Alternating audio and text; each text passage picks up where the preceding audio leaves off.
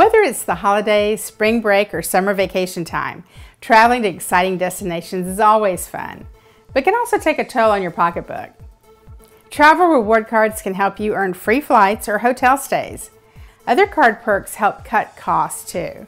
Free check baggage is the most popular according to a creditcards.com poll. Many cards also come with rental car insurance, travel insurance, priority boarding, and even free companion tickets on airlines.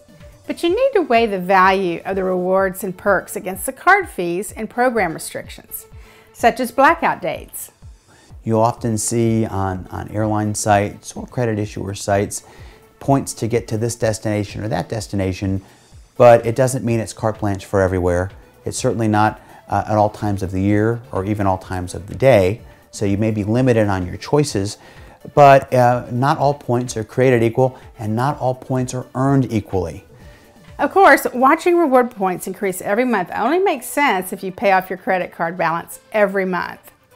Reward cards tend to charge higher interest than other types of cards, and that interest cost may cancel out the value of any rewards you get.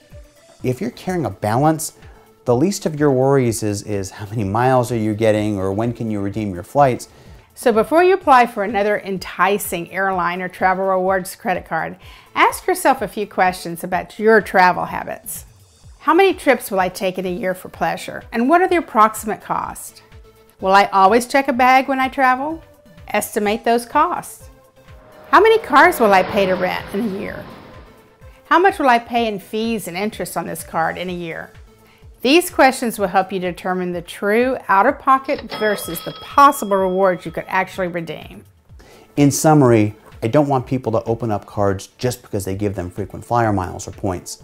Figure out the right tool for your tool belt.